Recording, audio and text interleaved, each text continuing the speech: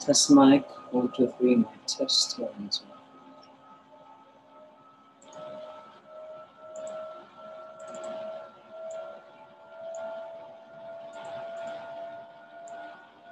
Okay. Good day, class.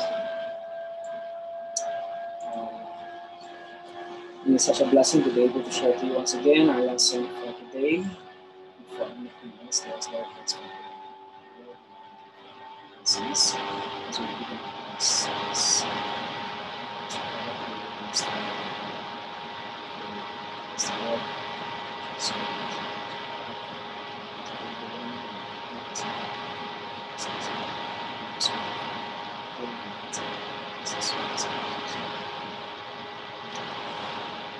our lesson for today, uh, I will be talking about uh, two topics uh, today.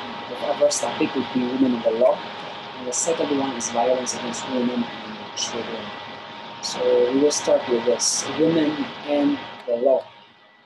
Uh, Our lesson objectives are know about the various Philippine law affected, affecting, sorry, that's affecting, affecting women. Identify the various rights of women and understand the impact of these laws the rights of Filipino women in society. So last time we learned about uh, culture had evolved and then. So we'll be learning now about uh, what are the laws that have been stipulated in the Constitution regarding uh, for, for women and how, uh, how, how these rights impact women. Let's define these terms. 1987 Constitution, the fundamental law of the country which all the laws are and based upon. So, uh, the basis of our study of the laws we be studying is based on the 1987 Constitution. We also have the Magna Carta of women, the main law enshrining all the rights of women and the roles in building the nation. We have nation building, collaborative efforts, and means to establish and develop. So, 1987 Constitution. So the Philippines is known for its very liberal and progressive constitution. Because of 1987, that our constitution was, uh, was developed, amended, and um, acted. So it was formulated during the euphoria of people power revolution in 1986, right? So gender equality is a key element of this charter and is enshrined in Article 2, Section 14 of the 1987 Constitution. The state recognizes the role of women in nation building and shall ensure the fundamental equality before the law of women. I would repeat that. Article 2, Section 14, 1987 Constitution. The state recognizes the role of women in nation building and shall ensure the fundamental equality before the law of women and men. So considering the unequal gender relations in the country, right, the Constitution okay, further provided for women representation. Was one of the nine marginalized sectors in the legislature through the party list system. So we have a party list system, and uh, yes, it's marginalized before, it should cover 80% of the lower house. Finally, Article 13, Section 14 specifically mentioned that the state shall protect uh, working women by providing safe and healthful working conditions, taking into account their mater maternal functions and such facilities and opportunities that will enhance their welfare and enable them to realize their full potential in the service of the nations. Now, I want to ask you this question. So I'll be giving you about, about 10 minutes to answer these questions. I want you to reflect on these following questions. Please get one sheet of paper and then answer these questions for about uh, 10 minutes. This is an essay, essay, uh, this, essay questions. So first is, what do you think are the reasons, okay, why these provisions should be enshrined in our 1987 Constitution, right? Second, Which among these constitutional provisions are the most important? Provide the reasons. And last, do you think these constitutional provisions are lacking or already sufficient? Provide your reasons. So, um, I want you to, to what's this? Uh, let me paste the uh, the articles, okay, so that you will be able to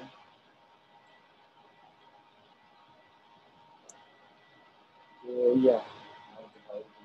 Anyway, so this is the okay, this is the these are the questions for your uh, perusal.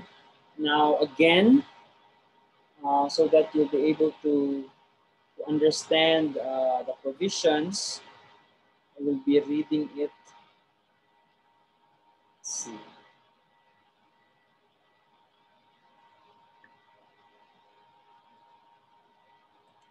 I will paste it first and then read it for you.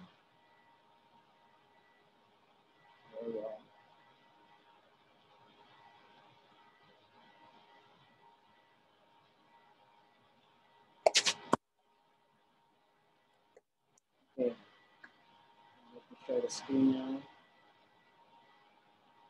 Okay. So here are the questions, all right?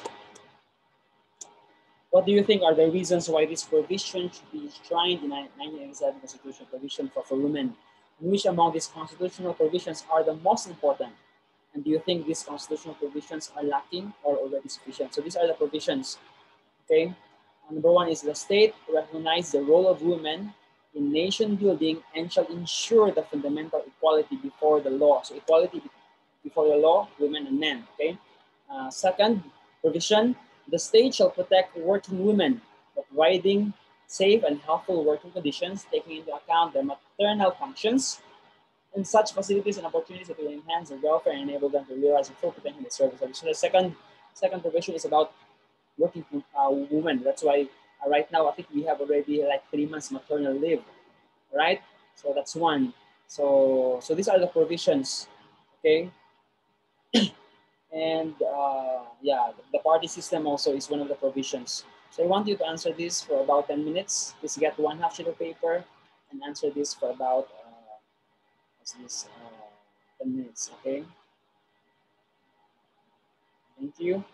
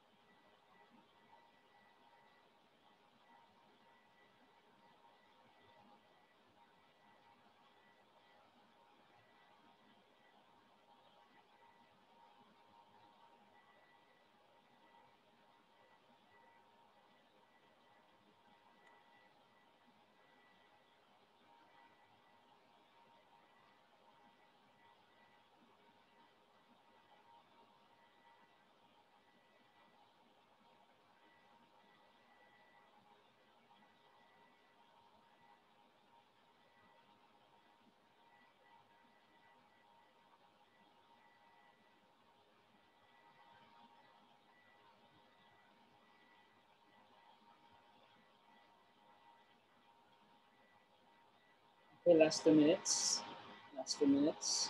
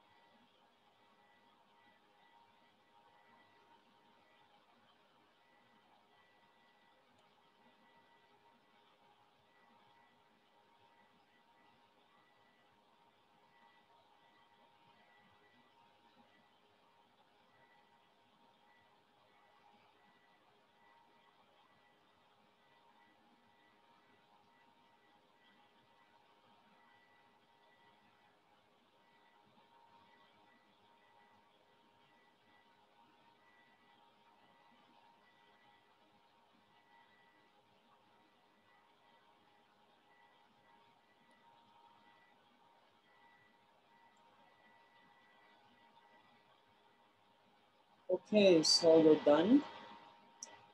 So this specific provisions serve as basis to several legislations about women. As a result, laws of women became plenty, apart from the constitutional provisions mentioned. So the lack of sufficiency of the specific provisions depends on the existing and current need of the country. Now we have these various laws promoting gender equality. Okay, so the legal framework provided by the 1997 Constitution resulted to various legislations promoting gender equality, right? So these legislations include the following, okay? So number one is Local Government Code of 1991. So what is this Local Government Code of 1991? It provides for the election of sectoral representation, including women in local legislative councils. Now, in, in, in the local government, right, the municipality or the city level, we have uh, legislatures. And these, these legislatures are mostly, I think these are the councilors, city councilors or municipal councilors. So these women should be represented in, in the legislation, the legislative body. Second is part in this law, provides the creation of women-oriented or women-based parties to compete under the party system women is one of the nine sectors identified I think we have the Gabriela. Gabriela, I think one of the was this party list, women party list in, in, in, the Congress. So we have the party list law. And we have Labor Code of 1989. This covers issues such as night work prohibition, specifies that employers must provide special facilities for women, prohibition of discrimination against women in respect terms and conditions of employment, and prohibition of discrimination by reason of marriage of a woman worker. Okay? And we also have Women in Nation Building Law, Republic Act 7192, 1991. It is an act of promoting the integration of women as full and equal partners of men in development and nation building. So uh, men and women are equal, especially in promoting the welfare of, of, a nation. So the law provides that a substantial portion of government resources be utilized to support programs and activities for women. And the law also encourages the full participation and involvement of women in the government. uh, in the development process and to remove all gender bias in all governmental regulations and procedures. So in relation to gender budgeting, the law specifically mandated agencies to allocate a minimum of 5% to increasing to 30% of all official development funds in mainstream gender concerns. So in the gender concerns mainstream programs, uh, there should be uh, equal appropriation, at least, you know, right amount for, for women programs. Then you have the 1988 Comprehensive Agrarian Reform Law. It gave women the right to own land that previously reverted to sons and other male family members. So it's, it's, a, it's a law for, for women to be able to, to at least acquire, to, to, to have a property, especially was this uh, the right to own land.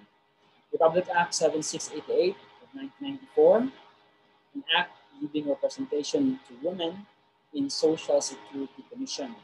And you have the Anti-Sexual Harassment Law, RA 7877, an act declaring sexual harassment to be unlawful in the employment, education, training environment.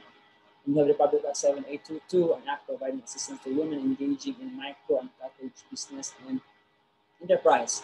And you have Republic Act 85, 8353 1997, an act expanding the definition, definition of crime of rape classifying the same as crime against uh, persons. And these laws not only promote gender equality, but also gives protection to women's rights and enhances women empowerment. Okay? Now, the laws listed above should always be remembered since these are the very basic laws on women's rights and women empowerment. Women's rights women empowerment are important in society as this ensures the inclusive growth and development of our country. Now we also have these national programs. Okay? So based on the Philippine law stated, a myriad of projects and initiatives and processes on the gender challenge arose. So this includes the, the, the following programs. Number one is Philippine Plan for Gender Responsive Development of 1995 to 2025. The National Plan for Women that consolidates the action commitments of the Philippines during the Beijing World Conference on Women. So this is the overall frame, but it's also the point of reference for the discussions and monitoring of gender mainstreaming. And you have Gender and Development Budget, or GAD, integral to the national plan. It is aimed at institutionalizing gender concerns in the mainstream development process, and agenda and address federal programs and projects out of the government. So, you know, this is uh, institutionalizing uh, women concerns so that it will not be marginalized thing, but it will be part of the mainstream. So concretely, it describes the allocation of 5% of the government's agencies local government needs budget, 5% in gender responsive activities and projects. As a result, implementation of development programs and policies of government also means women participate role in governance. As primarily stakeholders in the development process, women have the right to maximize their involvement in governance, be it at a local or national level. And you have the framework plan for women of PW. This is part of the Philippine Plan for Women, developed to focus on three thrusts. Number one, promoting women's economic empowerment, advance and protect women's rights, and promote gender responsive governance. So this plan identifies the concrete gender issues that will be addressed, pinpoint targets, indicators, main programs, formulates the implementation plan, and set up tools for monitoring. Then we have women's right to participate. Women's right to vote was granted in 1947, as I already said before. The Constitution of 1935 stipulated that the rights of suffrage would be extended to women only if 300,000 women voted in its favor during a national plebiscite. Okay? This consolidated the emerging women's movement and brought to the fore the activism of women such as Concepcion, Felix de Calderon, who formed the Association Feminista Filipina in June 1905. And you have Rose Sevilla de Alvero, a young Trinidad Almeida. Miss Constancia Poblete, founder of Liga Femenina de la Paz. And we have Pura Villanueva, Kalaw, and Paz Mendoza Guazon, Pilar Hidalgo Lim, the president of the National Federation of Women's Clubs, and Josefa Llanes Escoda, president of the Girl Scouts of the Philippines, Unayan ng Kababaihan sa politika So the General Council was established in Manila. The General Council of Women was then established in Manila to direct the plebiscite campaign. Its aim was to build support of the broadcast number of women as it turned out. to there were 447,725 women voted yes in the 1937 plebiscite. Interestingly, 44,207 women voted against the petition. The was a call for this year women's foray in the various levels of electoral victories. But generally, which the familial creation result. Of course, later on, had the first women president, Corazon Aquino. At present, women's right to vote and participate and maintained and further protected the existing laws. Then we have women's involvement in civil society. Okay, so women's rights, and let's go to women's involvement in uh, civil uh, society. Women's expression and involvement in civil society could be through organizing around gender-specific issues and formation of all women groups within broad coalitions as power-enhancing mechanisms. We have groups such as Philippine, Filipino Feminist Movement, the Gabriela, right, very popular, we have Kumbayan sa Politika, we have Kilos Cabaro, Act Sisters Coalition in Sigol, the so-called uh, Philippine NGO Voting Support Board, which revolve around the National Steering Committee NGOs from the United Nations Conference on Women. Right? Let's go to women and uh, education. So the Philippine education is a combination of public and private institutions, which the state providing free education for elementary and secondary levels. The institution provides without limiting the natural rights of parents to rear their children elementary education for all children. So that there's no general discrimination of girls in education. Thus, there is no marked difference existing in the educational status of Filipino, women and men. One glaring issue is the gender stereotyping of fields of study and specialization and its annual translation to the world of work, where men generally occupy the highest occupational ranks and the highest paid positions. So women's larger responsibility for housework and for the family needs their ability to use their educational training skills for, for the new relative work. So this is uh, this was the case. Since most men ex musician, government sector, the educational sector. So, the topics previously discussed are always timely relevant and important parts of the daily lives of Filipinos. So this only shows the degree of importance must be given to these topics. So to summarize, laws on Filipino women are plenty. From the fundamental law of the land up to existing legislations. So it can be projected that more such legislation shall arise in the future. So these laws are essential as they can be springboards of various national programs, human involvement, participation, and inclusion, all towards the highest goal of empowering. So our next topic is entitled Violence Against Women and Their Children. So we already talk about women and the law, how our constitution stipulated laws for equality and to be able to give rights to, to women. Let's go to violence against women. We call this vows the AWC, violence against women and children, 9262. Our lesson objective is to discuss important provision of the AWC Act or RA 9262 understand the details of its commission and comprehend okay, actual cases involving the said law. So we have here a definition of terms, protection orders issued by the barangay or the courts, distancing the law perpetrator from the victim. You the perpetrator, the victim, and vice versa for the reasons provided by the law. Public crime, nature of the crime wherein it is considered to be an affront to the society allowing anyone who has mm, personalized the violence to AWC. So the Republic of 1990 to 62 or anti-violence against women. So this is anti-violence against women and children. 2004 is a result of strong advocacies on women's rights in the country. So this law was deemed to be significant victory for all Filipino women as it was based on the right of women to suffer abuse or discrimination and violence in their respective.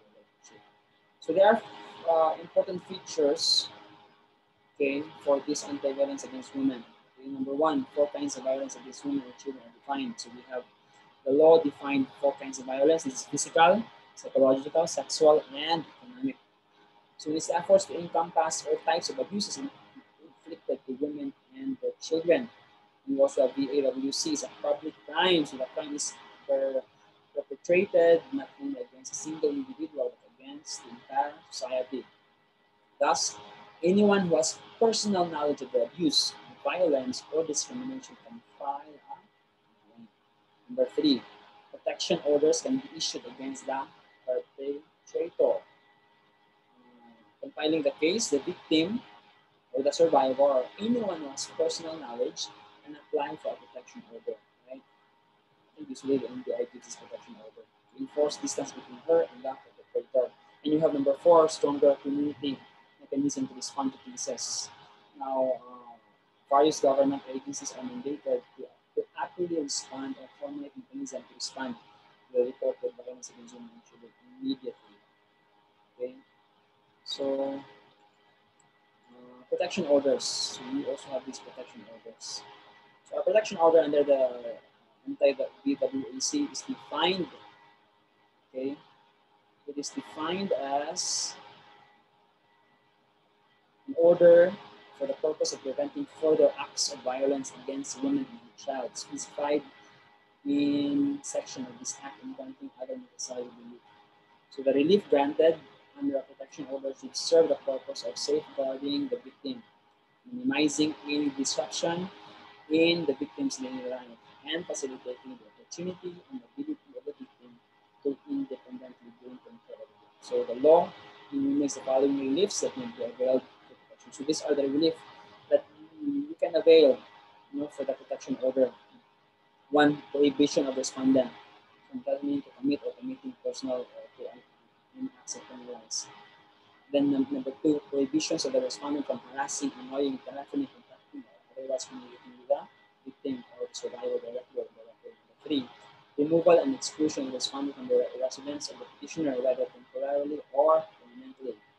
And then directing the respondent to stay away from the petitioner and directly lawful possession used use with the petitioner of an automobile and other personal effects regardless of ownership. And then granting temporary or permanent custody of the children, okay, child children. And directing the respondent to provide support to the woman or the child if entitled to legal support. Then, prohibition of the respondent from any use or possession of firearm or deadly weapon in order him to surrender the same, including revocation of license, disqualification. And then number nine, restitution for actual damages caused by violence inflicted including property damage, medical expense, and use of income. And directing that the SWD, the Social Development, or any agency to provide temporary shelter and other social services that um, needed. And then provision other forms of relief necessary to protect and provide. And you also have the rights of victims, okay, of a victim or the survivor that is to be treated with respect and dignity, to avail legal assistance from the public attorney's office from the the Department of Justice or any legal assistance, and to be entitled to support services from the SWD, which will be used, and also to be entitled to legal remedies and support as provided for and under the and to be informed of the right to apply for protection order. And then the right to privacy of the victim is also provided in the law violations punishable by imprisonment. So, uh, the duties of national and local government. So, what is the duty of the national and local government? Uh, again, was this to help uh, the women and children. Section 39 of RA 1962 provides for the creation of interagency council on violence against women and children, which shall formulate gender-sensitive programs and projects according to the respective agency mandates, including building a program for the employees. So the EIC or BAWC consists of the following agencies. You have the DSWD, okay, National Commission on the Role of Filipino Women, Civil Service Commission, Commission on Human Rights, Council for the Welfare of Children, Department of Justice, Department of Government, Local Government, DILG, we have the Philippine National Police, or Department of Health, Department of Education, Department of Labor and Employment, and the National Bureau of Investigation. So they, the implementing rules and regulations of the anti uh, women and children act state the following duties and responsibilities of the, of the barangays in addressing the AWPs apart from the issuance of government order section 47 duties. So we, we go now we now go to the local level to the barangay what other duties to violence against women and children. So undertake education program the violence against women, so, so educate, okay? Second, a family violence prevention program, including peer counseling for men. So men should be should be should be should be counseled, should be educated, so as not to uh, this, uh, violate the rights of women and children. Third, support organizing efforts and development programs for women in the community. Prioritize livelihood projects for victims and survivors. So sometimes you know there's no support for, for the victims. And then involve women in planning and implementation of all programs and projects in the barangay. And have an anti AWC desk officer in the barangay should coordinate a one-stop help desk. Okay, should be available for 24 hours. Ensure that all barangay officials, barangay health workers, barangay nutrition scholars, other barangay workers are tanod, school workers undergo gender-sensitive seminars, enable them to respond to the victims' violence. A system document and report cases, assistance program to victims of applicable necessary prescribe additional guidelines provided for the system. So I will also be sharing to you later on some Moodle, perhaps some Moodle cases, okay, actual cases of violence against women and children. I will ask you to, reflect. So it will be posted in the okay. So to summarize, the Violence Against Women and Children Act is a landmark legislation championing the cause of women, and these specific laws pertains to specific violations captured as acts of violence defined in the law. Also, violence against women and children was considered to be a public crime, allowing other persons to file the complaint, only the victim or the survivor. Further, the law allows protection orders distancing the perpetrator from the victim and vice versa. Several purposes provided most importantly, government units are mandated to provide specific and immediate mechanism to respond appropriately to this violence against women and children cases. So I think uh, the bottom line is this, you have to respect the rights of others, especially women, mothers, sisters, okay?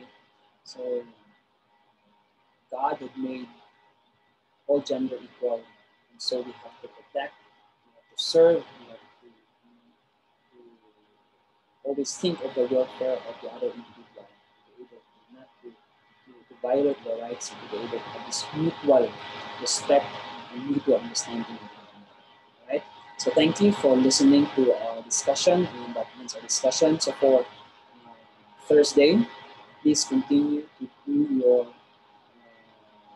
this assessment. I'll be posting the assessment for this class. You also participate in the forum.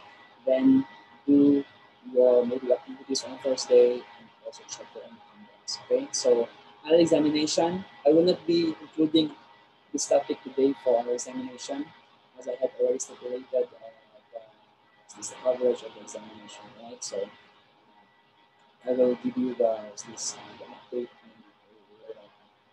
You everybody for listening to our discussion and I bless everyone. Thank you.